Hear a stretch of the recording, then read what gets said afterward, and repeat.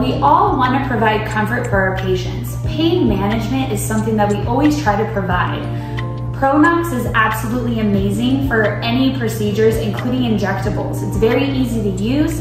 It's a 50-50 nitrous and oxygen, and it only is activated when the patient breathes in. So for Pro-Nox, the patient can also, whenever they stop using it, can drive themselves home. So who wouldn't want this extra pain management like the Pro-Nox?